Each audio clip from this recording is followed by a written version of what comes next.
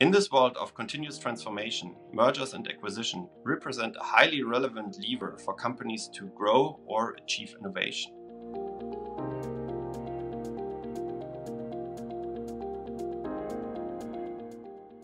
Integrating another company, uh, merging with another company, or carving out parts of the business are a very complex and challenging process and pose challenges on the IT side of the company. And I believe that enterprise architects should play a crucial role in that process.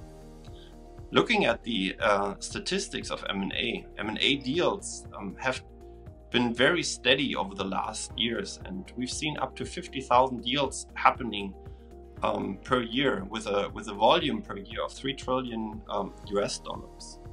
Um, 2020 uh, was a year where we saw the first time a decline in, in the deals and deal volume.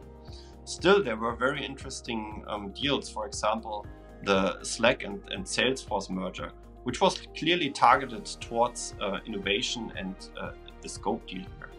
In our customer base, we've seen other deals happening as well. So, for example, um, the Otis uh, carve out uh, out of UTC, um, which happened at the beginning of 2020. Um, uh, another example is two co uh, logistics company merging, um, where the focus was clearly on um, uh, on reducing uh, costs. So these are um, motivations, and where, where we see that the enterprise architecture teams were involved early on in the uh, in the uh, due diligence or in the um, post-merger integration process and have added uh, great value to the projects. So let's take a look at the, the high-level um, definition of, of M&As and the main brackets uh, that we see. So the first one is a merger. That means that uh, two almost equal companies enter an agreement to unify um, under one umbrella. The second one uh, would be an acquisition where one larger business uh, acquires uh, a smaller one and takes control over the firm's uh, assets and stocks. Uh, the last one here to consider is a bit different. It's a carve out, so that means um, a large company sells off or divests itself from parts of the business, which are then continued um, in a separate company. Historically, companies pursue M&A activities to uh, capitalize on economies of scale. For example, they uh, may join forces uh, to capture a larger uh, customer base or penetrate new region um, and take advantage of cost benefits and increase negotiation power um, towards vendors. However, in recent years, organizations uh, are now shifting towards uh, so-called scope deals. These are the ones that uh, actually add business capabilities um, or modernize operating models um, to grow revenue streams and to, to increase innovation. Um, the research shows that uh, M&A activity has been relatively steady uh, over the last few years. Um, in fact, in, in 2019, the percentage of uh, scope deals um, was up compared to, to this number in uh, 2015. So especially in, when you look at the, the tech industry, uh, where we see a lot of the, the, the deals happening. The scope deals increased from 50% in 2015 to 82% in 2019 based on a Bain analysis. However, with the pandemic in 2020, which is uh, obviously still uh, ongoing, the number of deals uh, dropped uh, significantly uh, across all industries. Um, and according to a research of, of the Deloitte M&A study, um, we, we see that 61% uh, of the executives believe that um, the M&A deals will take up again in this year, in 2021. With the numerous M&A activities um, happening across all industries, this poses major IT, uh, IT challenges on the uh, post-merger integration activities. Operations need to continue to run smoothly for all involved parties. Mm. Cost-saving pot uh, potential needs to be tapped quickly in order to avoid that uh, contracts get re renewed unnecessarily and um, money is wasted at, uh, at this um, we as LeanIX need to provide an, uh, a solution to enterprise architects that helps them to, to quickly reach an overview because time count, counts and time matters. And um, to get here an, a, quick overview on the joint IT landscape um, as part of the post-merger integration activities.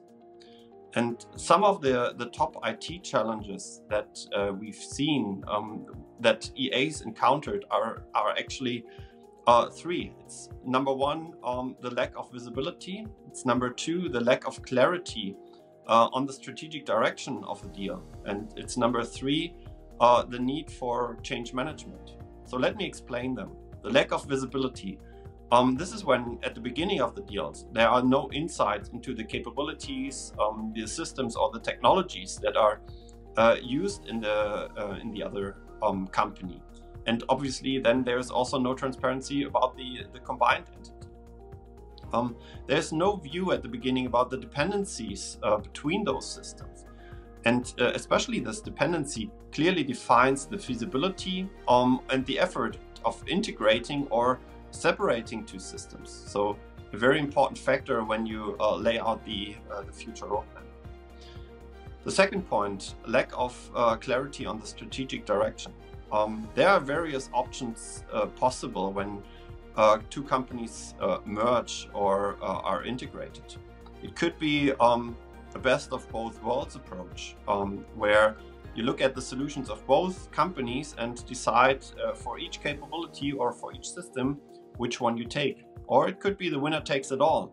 That means you are clearly going um, with uh, the, the, solutions and the capabilities of, um, of one company. It could also be that there are like decisions and standards uh, taken on, on vendors or on, on platforms that give you a, a clear direction for uh, for every decision along the uh, the, the post merger process.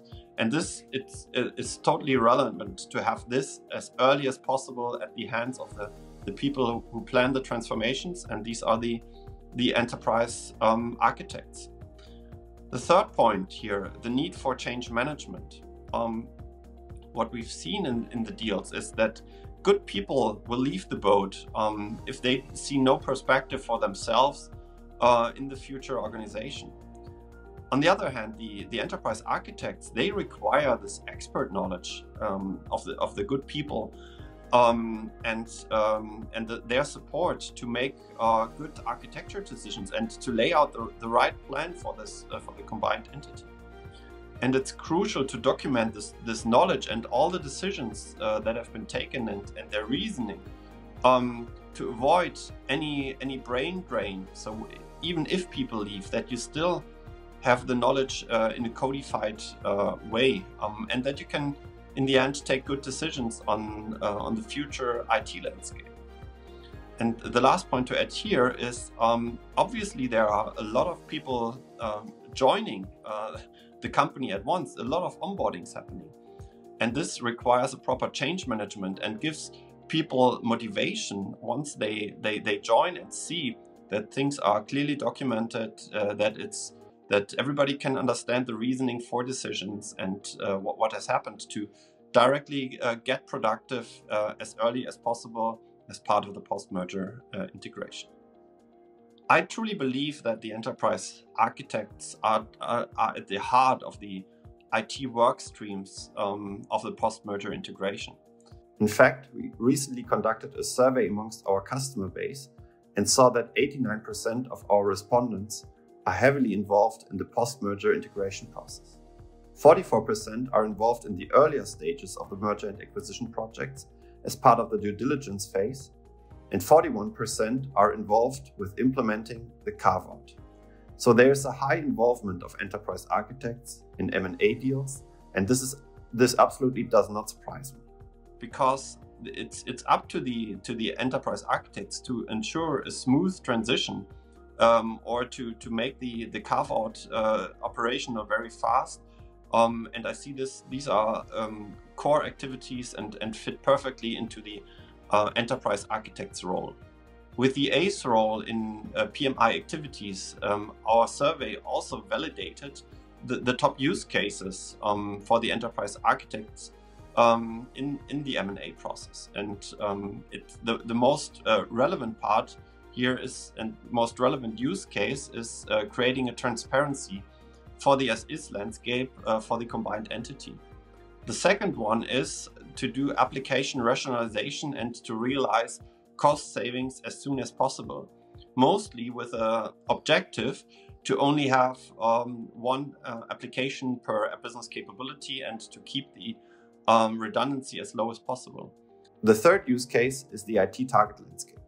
Our customer respondent believe it's important to lay out the future state of their landscape.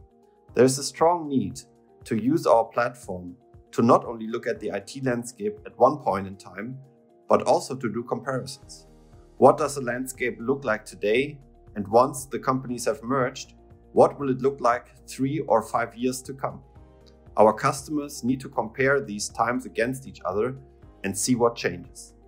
The visibility of a target IT landscape leads to application roadmaps as another use case. Enterprise architects need to have a clear picture on when and what phase to deprecate their applications. Also important for respondents is coming up with a joint business capability model. Obviously, enterprise architects need to start with the development of a combined business capability map to help with the planning of the PMI strategy. Finally, our customers also saw the need for scenario integration. Nearly three quarters of the respondents said it was important to be able to develop different scenarios and plans for their integration activities. This is a very time sensitive phase where there's not a lot of time to think about five or six different scenarios. But we've also observed among our customers that this is also a very straightforward process. At LeanIX, we have a best practice um, process for post-merger integration. Um, and I think this helps to, to guide any um, customer through these uh, activities. First of all, it's about uh, developing a business capability map for the joint entity as a first step.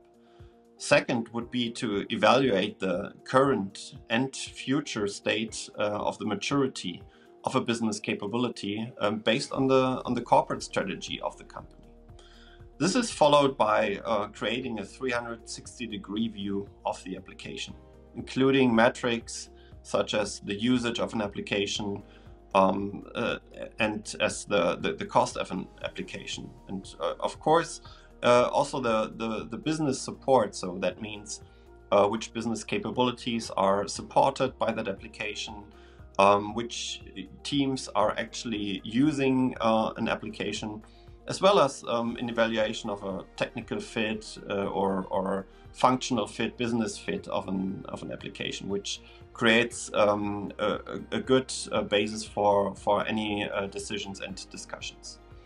The fourth uh, step in, in our process would be to then define a way forward for each of the applications. Um, and a, a, model that has been proven very valuable here um, is Gartner's time module, where um, for each of the applications, and based on the 360 degree view, um, you then decide if you tolerate um, a certain application, if you invest in a certain application, if you migrate a certain application towards uh, another application or if you eliminate uh, a certain application. That means you get rid of it um, as, as soon as possible. And the last step there then is to, to build an uh, application roadmap from it. Um, if, even if you decide to eliminate uh, an application, for example, it's it's uh, not clear that you can do this in the next week or month, but you are probably tied to contracts. So you, this is something that you need to, to take into consideration or capturing, backing up the data and so on. These are all activities that then um, follow and need to be brought uh, to a roadmap.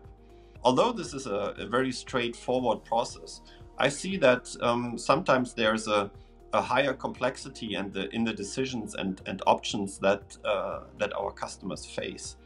Um, and in those uh, cases, it's it's valuable to compare different uh, scenarios. Um, for example, either going with platform A or with platform B, or to compare more aggressive timelines with more conservative timelines, and see what the what the consequences of uh, such uh, scenarios are in, in, terms of investment needed, uh, resources needed, um, and and so on.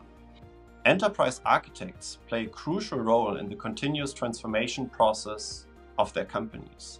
Mergers and acquisitions are just another trigger in the, in the transformation journeys um, of the companies. Um, and this needs a forward looking enterprise architect in the driver's seat to really accelerate the pre deal and post deal activities which are related uh, to IT. I believe EAs are really well positioned to understand the business motivation behind an M&A deal as well as the technical details of the capabilities, the applications and technologies that are involved in the deal.